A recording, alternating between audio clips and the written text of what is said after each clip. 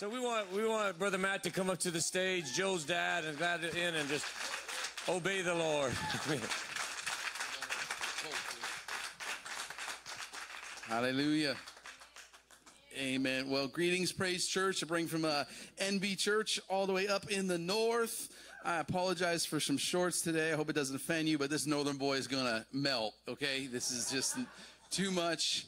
I got to work today a little bit. Uh, I was going to either go shopping with the girls or go hang with the guys, working, doing some framing. So I got to go help a little bit today, uh, just hand some boards in and stuff. But God sent my son, Joel, at lunchtime to make a way of escape for me and uh, bring me out because dumb old me would have just stayed, and I think I would have been in the emergency room tonight with heat exhaustion if I'd have stuck around much longer. But uh, so good, so good to fellowship. But uh, I do honor the bishop and honor the leaders of the house, and I see such growth in this place as I come back year to year. Amen. Not just in Joel's family growth uh, with uh, our newborn, our my first grandson. Come on, man. Hey what an awesome name and we're just so blessed and uh, so blessed by the exhortation and, and the worship tonight and i want to just uh, just to bring a encouragement and a, I guess just a, a great job to the uh, media team, the sound team, the production. I watch online. You guys are doing fantastic keep it up. It's not going unnoticed. And uh, I share the church with others, and they think it's this giant church. So, um, it's a, but we have a giant God, and we, we do an excellent spirit. We do all we can with an excellent spirit, and you guys are doing it. So, keep it up. Amen. But uh, I just want to just kind of bounce off of what was saying uh, tonight. And you know, the difference between an exhortation and a sermon is about 30 minutes. Okay, so that's about the main difference. So that's what you're getting tonight. But uh, Pastor Chad, yeah, he pulled a little fast one on me. He come up to visit us. Their surprise visit a little while ago, and uh, I come home from a wrestling tournament, and the, the, whole family's hiding in the dining room. I did not know they were even there, and, and I'm like, Pastor Chad, you preaching tomorrow, right? It's late Saturday night, and he's, I'm on vacation. I said, well, at least you're going to sing. You're going to sing. So I got him to sing, and um, but then he he texted me and said, you're preaching Wednesday, and I said, I'm on vacation. I heard uh, that worked for you, but uh, so it didn't work for me. Uh, but anyways, uh, just just so good to be with you guys tonight, be with family, and uh, we love you. I want to just bring a, a, just a word of encouragement to you this to this evening, but. Uh, God spoke something to us. We transitioned into lead pastor role about three years ago, a little over three years ago, and I served under my dad for many, many, my whole life, and for 20 years was the worship pastor and and God began to do a work as He began to prepare me to pastor. And something He spoke into my spirit one time. I kind of woke up middle of the night and wrote it down. He said, Bring the pulpit to the people. So this is just bouncing off what Pastor Chad said. Bring the pulpit to the people. For the pulpit is not just a piece of furniture on, a, on an area we call a platform in a church, but the pulpit is the place that the Word of God is proclaimed. And it's time to bring the pulpit to the people. Each and every one of you have a pulpit preach the word in your schoolhouse, in the workhouse, in, the, in your hobbies, on your street, in your neighborhood. Preach the word. Amen. Hallelujah. Not just on a microphone in a, in a, a, play, a building we call a church. I wish we could kind of go back in time and take that out of our vernacular because we don't attend church. I end service every Sunday with you've been to service. Now go be the church. Amen. We learned through COVID the church is not a building. the church is never closed. Amen. We're never closing because it's not a building. It's a people. And that God is building it. Jesus is building it. Hallelujah. But but it's time to take the pulpit to the people. The other thing he spoke to me, he says it's time to bring the altar to the people. The altar is not just an area that separates the well and uh, the platform from the chairs in, in a church building. Come on, but it's where people encounter the presence of God. It's time to bring the altar to the people. And they, you can encounter it at Walmart, you can encounter it on the street, you can encounter them anywhere because God is everywhere. It's where they encounter the presence of God. And if you'll be faithful to open your mouth, He will be faithful to fill it. Something as simple as just taking the notes from Pastor's Sunday sermon and sharing that on Monday. Every Monday at work, you get asked, Hey, how was your weekend? Or somebody asks you throughout the week, Man, if you don't have anything else to say, you have something to say. You have a message and just say, man, I, well, actually, I was at church the other day and, and uh, Pastor preached, he said this. And really, and man, you don't know where that could lead. And it's so many great conversations have started um, through people in our church from just sharing the notes from the Sunday sermon. So I encourage you to, to do that and take notes. But I want to share just a brief uh, word of exhortation tonight. Of uh, uh, just just something that God has spoken to me. So not really a sermon, but it was an excerpt of a, of a sermon I, I preached recently. But God has just been working in our lives and in our family, and uh, just some, some some things have risen up in our family, and we have been in a season of brokenness a season of brokenness. And the songs were so good tonight that you are good, man. Awesome, awesome. Just really kind of confirms the word. But uh, I, I, don't even know if you guys end with a song, but if we do, I would request to kind of end with that. But just he is so, so good in the morning, in the evening, no matter what is going on, he is so good. And and in the season of brokenness, God is so faithful to speak. And Uh, one morning I woke up with something and, and wrote it down and I shared it with my wife in the morning and in, in a season of brokenness, I heard these words When I am broken, I will remember the word you have spoken. See, when you preach, or if your points start with the same letter, or if they rhyme, it just drives it home even more. And so many times when God speaks to me, it's it's it's like that. It just rhymes. But but anyways, the truth is, when I am broken, I will remember the word you have spoken. And it wasn't even coming from me, but it was just something down in my spirit down inside of me, just rising up and saying, I will remember the word you have spoken. See, in the darkness, when you don't know what to do, I want you to pull out the word. I mean, I was on, on uh, the, the, the pastor, Brother Joe Crandall, over the Bible college we went, he would get on the pulpit, old preacher, and he would just, just shout and he'd say, You can stand on the word when your world's on fire. You can stand on his word. So I want you to remember to pull out the word. When, when you don't know what else to do, bring out his word. Why? Because Psalms 119, 105, just a few verses I'm going to read tonight. Psalms 119, 105 says, Your word is a lamp to my feet and a light to my path. But not only this, see, I love to, to take verses and put them together with another verse from over here. There's another verse, and you could do this kind of exponentially you just keep going on and on. But just one other verse, Ephesians 6 17 says, And take the helmet of salvation and the sword of the Spirit, which is the word of God. So in those two verses, we have the word is a lamp, it's a light, and the word is a sword. Come on, it's a sword that glows. Come on, George Lucas and Star Wars did not invent the lightsaber. Jesus did. Come on, God did. Amen. It's a sword that glows, it's a sword that lights up. It's a tool and it's a weapon. Hmm. I want you to wield the word. We don't hear that word wield too, too often. Wield the word. That's what you do with a sword, man. You, you wield it. You wield the sword. Wield it. I want you to begin to wield the sword. Amen? Wield the sword. Use it to fight the good fight of faith. See, we're in a good fight, a good fight, a good fight of faith. So when you wield the, the word of God, when you wield the sword, come on, you can make fear and doubt flee. You can make it flee in your life. You can make it run when you declare the word of the Lord. I want each and every one of you to know you are a preacher. you are a preacher, each and every one of you, young and old. I've seen young people preach. I've seen older people preach. I've seen people that never held a microphone begin to preach. But I want you to know something about preaching. The best sermon you will ever hear will not be from this pulpit. As awesome as Pastor Chad is, as awesome as his dad is, as awesome as many of the guest ministry you bring in, the best sermon you hear will not be on the most viewed YouTube or, or Twitter or, or any uh, other thing, any other platform that's invented. Uh, some great clips that can be made of TD Jakes and all these awesome preachers. And it, that will not be the best sermon you will ever hear. I want you to know that the best sermon you will ever hear is the sermon sermon you preach to yourself is the sermon you preach to your situation. That is the most powerful, most life changing, most dynamic sermon you will ever preach, you will ever hear, is the sermon that comes from within your spirit. When you begin to take that sword and you begin to defend your house, when you begin to proclaim the word of God over what's yours and is His.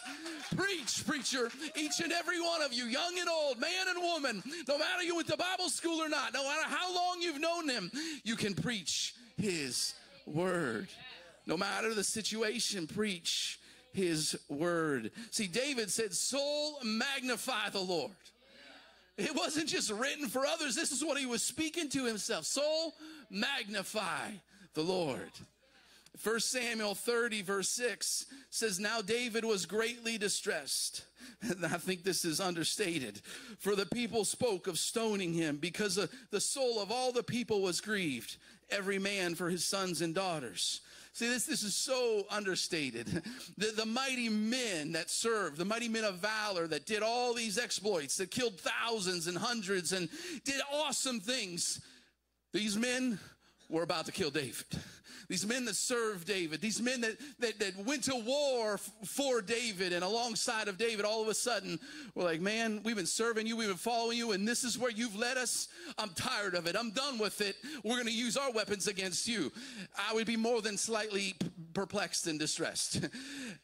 And it says it goes on. And if you've got a, a, paper Bible or a Bible in your app, you want to highlight this next part of the verse. It says, But David strengthened himself in the Lord his God. So many different angles you can go for. And see, this wasn't anybody else's God. This was His God. This is my God. I, I was, um, I've been a PK my whole life, a preacher's kid, and I've been told so many times that God doesn't have any grandkids. He's only got children. You can't come on the coattails of your mama or father, but it was His God. His God. David turned and he strengthened himself in the Lord his God. Another translation says David encouraged himself in the Lord. Man, I, I, I, am uh, kind of words is one of my love languages, and I love it if my wife says, "Man, you did a great job." Thank you, thank you. One of the uh, just, just words, it, it, builds in you. Uh, one time when I was working just 17 hour days for a couple weeks in a row and just just slaving at work and go, going hard at work. And we had young kids in the house. We had uh, eight children. And uh, a lot of times we had those, those crayons in the bathroom. Anybody ever have those crayons you can color on the bathtub walls? We've got little ones. And it was just a fun thing. You just continue the picture from the next person, you know, and just keep drawing on the walls in the shower. And you wipe them off and start over again. And my wife did something that stuck with me forever and affected me. And as I come home late one night from work, I go in to take a shower and I turn and there's a letter to me on the back wall of the shower saying, We love you so much. Thank you for all you do for our family, how you're an example and you work so hard to provide for us and, and just just those words to me right now, years later, there is empowerment, there is strengthening they blessed me so much. But not only the thought that she was speaking unto me, but every one of my children. For we had 10 people in the house and one shower, okay? That's a miracle in of itself. Some of my kids went to, off to college and, and they, well, they didn't go off, they, they commuted. And somebody got mad at us, and said, You need to let them experience dorm life. I'm like, dude, they lived in a house with 10 people and one shower. We live dorm life, okay? but, uh, uh, but every one of those kids that took took a shower, turned around and read those words from mom to dad. And it impacted them and infected them, and just so, so powerful. But we love to hear words from other people, but sometimes you need to encourage yourself in the Lord. Amen. Encourage himself in the Lord. It says, uh, I want you to preach to fear, doubt, and unbelief. So much so they either get saved or get tired of hearing it. Amen. I, I had a mama that would just preach. I don't care what's going on right now. You're going to preach the word, son. You're going to be a worship leader, son. I heard it so many times, and they've come to pass. Oh, preach the word preach the word. I'm going to say something, and, and I know it's okay because I've heard Pastor Chad's preaching, but don't listen to so much of what I say, but hear my heart. I want you to preach the word. Preach the word to your situation. I want you to preach the hell out of your situation. You understand what I'm saying? Preach it out of your mind. Preach it out of your workplace. Preach it out of your house. Preach it out of your situation. Hell has no place here. No place here. Come on, I'm just giving an exhortation today. I'm not preaching. Come on, these words didn't originate in me. This Bible that you have in your lap or the app on your phone, they didn't originate with us, but they will be repeated in me. Come on, they will be repeated in me. I say it all the time don't put a dam in the river of God. What God is doing in you, He wants to do through you. Share your testimony, share what God's doing, and repeat the words that you hear in this house and through the Word of God repeat them, proclaim them. Hallelujah. These are the words of heaven. They are the word of the Lord. I love that the Bible says he's the Lord strong and mighty, the Lord mighty in battle. Come on, he's not afraid of a fight. Never back down. He's undefeated, King of kings and Lord of lords. His word didn't start with me, and it will not stop with me. His word will go forth from generation to generation. Amen. Are there any preachers in the house tonight? Come on, you may have walked in these doors thinking I'm not a preacher. I want you to leave these doors saying I'm a preacher tonight. Young and old, no matter your background, no matter the situation, I'm a preacher. I'm going to preach the word. I'm going to preach the hell out of my situation. There is no place for you in my life. My mama raised me on the verse, give no place to the devil. Give no place. You don't invite a serpent in and tell him to behave. It's not in his nature. Somebody said tonight about the uh, uh, lie, the, the enemy. Some, I was always raised on it. How do you know the devil's lying? His lips are moving. The truth is not in him. Are there any preachers in the house? I want to ask you tonight is there anyone tonight that is willing to stand at the door of their home? Come on with that sword in hand. Hallelujah. And say, Get off my property. Amen. Are you willing to stand there and say, You don't belong here? Leave my children alone. Get out of my life and begin to wield the sword, the word of the Lord. Hallelujah. Preach, preacher.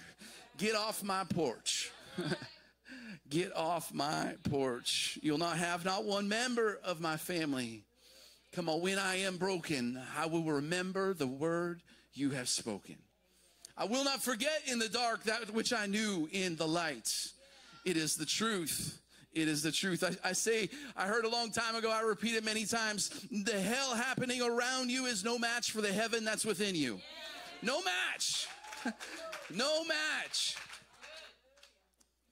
Uh, and one more little thing I say all the time just these are, you're getting many clips of a sermon in one, but never mistake God's silence for his absence. Never. He's working. When you can't trace him, you trust him. The book of Esther, I, heard this a little while ago, and I had to look. Whenever I was talking to Joel this week a little bit about preaching, and there's certain things you hear that are almost too good to preach. You know, like that's that lines up super good. Is that true? Like, eh, you know, and sometimes evangelists, you know, use a little uh, in insert things, and so I always want to search it out for myself and I heard this and I had to search it out for myself and read this through. And in the book of Esther is 10 chapters. I believe 167 verses in the book of Esther. Great story, amen. How many heard they've made it into a movie? Awesome. It's my, fa- my my wife's favorite character in the Bible, favorite story. It's amazing. But in the entire book of Esther, not one time is God mentioned. Not one time is Jehovah named. Not one time is Elohim or the creator of all things or all these different names ever mentioned. You know, he's not mentioned, but you can see his fingerprints through the entire story. When you can't trace him, trust him. He's working. I will not mistake his silence for his absence. Come on, there's 400 silent years between the Old Testament and the New Testament. You know God was not absent. He is with you. He is with you. He is with you. Come on, a sword has two edges. Amen. And our message is two messages, is twofold. To the world, to the lost, is come. It's welcome home. I went to a church, New Beginnings in Slidell. We always go to, uh, for years, I went to an outreach in New Orleans during Mardi Gras before I even knew you guys. We were so close. And we'd come down and preach, and we would go up to different churches on, on a Sunday and minister. And one of the churches was New Beginnings in Slidell. And the, the pastor had a, a, a, hand that would rotate, a robot, robotic hand. He lost it in a boat on the Mississippi. He was trying to push it off a sand barge and slipped under. But he, he always told everybody he got bit by an alligator. It was a much funner story. Uh, but uh, uh, in, in that church, on the front sign, when you walk in, it said, Welcome home, all is forgiven. And I'll never forget that. It just it hit me like that's such an awesome message. Welcome home. All is forgiven. See, our, our message to the lost is welcome. It's, it's come. It's salvation. Amen. But see, there's another edge to that sword. And it's to the enemy of your soul. It says, get your hands off God's property. See, we need to remember we, we, we wield a sword, not a knife, a sword, not a dagger, a sword. It's two edges to the world to come. Come on, healing is here, God is here, salvation is here. It's all is forgiven, but to the enemy of your soul and mine is get your hands off God's children. Your children, my children, his children. Get your hands off, devil. Come on, he is the deliverer. In the Old Testament, we read of the deliverer Moses. Come on, his message was twofold. To, to, to Israel, it was that God's going to deliver us to a land flowing with milk and honey. Come on, but to Pharaoh was let my people go. Twofold message. The sword. Wield it, church. Wield it. Proclaim it. Preach, preacher. Something I, I'm learning just recently and beginning God to allow to work on See, for a year and a half or so, especially in the last solid year, it was just preach in pain. Be faithful when you're hurting. And God was faithful. It was amazing. he really showed his faithfulness to us. And many times I just said, God, I, I don't, I'm so broken, I can't even preach. I don't have nothing to say. And God began to fill my notes. Even when I didn't feel nothing, just fill my notes. And I said, God, if you'll keep filling my notebook, I'll keep repeating what you say. And the power of God would just come on you and anointing when you preach. And I'd be ministering out of pain. And some of my church members like, Pastor, this is the best preaching you've ever done. It's because it's not me. I'm weak, I'm broken, but God's coming through the cracks, baby. And uh, just through this season, I thought it was just the status quo. And I thought really this is just how it's going to be for the rest of my life. I thought it was just an acceptable status quo. We're just going to hurt until this is fixed or hurt forever.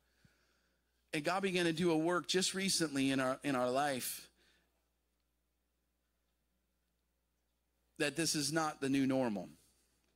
See, Psalms tells us that God is near to and heals the brokenhearted. See, we need to remember the word of the Lord and know it's not just for others. I'm a preacher. I believe it for others. I prayed for it for others. We had recently, um, last fall, our, our dog of how many years? 11 years or so. Wonderful member of our family. Dog passed away or didn't pass away. We had to put her down. Cancer. Just covered her whole body. And doctor said, vet said, can't do anything about it. You need to put her down. We're like, can we have a weekend? You know, and we just really, it was horrible. I don't know if anybody ever had to do that. It's a horrible situation. Well, just recently, um, we had uh, uh, somebody come into the church a few times that had a service dog, and they're new to church and new to everything, and and they called me and said, "I'm going to come back. I'm in town visiting my mom, mother. Can I can I bring the service dog with me?" And I said, "Yes." And, and it's a giant German Shepherd, beautiful dog, big, and and uh, beginning of praise. You know, it started, and I was like, "Hey, if the rocks won't, or if I won't praise them, the rocks will cry out. Maybe the dogs too." So I just laughed, and and uh, but they called and said he's, he's, he's got cancer all throughout his body. And would you pray for him? And I thought, yes, we'll pray. And I was like, I just put my dog down for cancer, but I have faith for your dog. And we knelt and we prayed for their, we had an altar call for anyone to come up and they came up with their dog and it was, it was interesting, right? And uh, I knelt down and prayed for this beautiful German Shepherd, and the, the mom is, is, weeping, and then we stood up and we ministered to her and prayed with her. And man, she knew there's a church that doesn't just care about her, but cares about what she cares about, and God cares. And and I thought, boy, if, if God raises this dog up, we're going to have a dog healing ministry, man. I'm like, oh Lord, I don't know if I want to go viral for that, but uh, whatever, however you want to do it, God. But see, something I, I thought almost this healing was available for everyone else, but not me. I was so blinded by hurt that I didn't even know healing was an option. I believe it for you. I believe it for others. I prayed for it for others. But in our life, I thought this was just the new normal, that this is just how it has to be. That I have to go through life without this now. That it would never be complete. See, no matter how hopeless the situation looks, my hope is not in the situation. My hope is in the Lord. Amen. Wield the word, preacher. Wield it over your family. One of my uh, most impactful moments growing up in the youth group at our church is we would go a few times to a friend of ours, uh, Christian fa- family. They went to another church, but we were friends with this family for a long time. And their sons, two sons, had MS and many other diseases and never left the wheelchair as a baby, as a toddler, as a young man. And was said, he'd never lived till teens and lived till really, I think one was 40, the other one was right around that same age. And these men, through a trach, would lead Bible study. And this guy is flat on his back, writing Bible study curriculum for churches all over. And we would come into his room at his house, it looked like a hospital room, and, and he would be filled with such joy and weeping as he led the class. And I remember just sitting back. That man was not broken. He was complete in Jesus. He had a joy, a fulfilledness that touches me today. Peace that passes all understanding. Man, so, so good. When I am broken, I will remember the word you have spoken. And that word says, I'm not to live in constant state of brokenness. That word says, I'm not to live in a constant state of pain. That though there might be some things missing, he fulfills every need. In his presence is fullness of joy, pleasures forevermore. And it's available for my family, and it's available for yours. It is available. He is the healer. He is with you. He is with me. That's my word of exhortation tonight with you. When I am broken, I will remember the word you have spoken. Love you, Praise Church.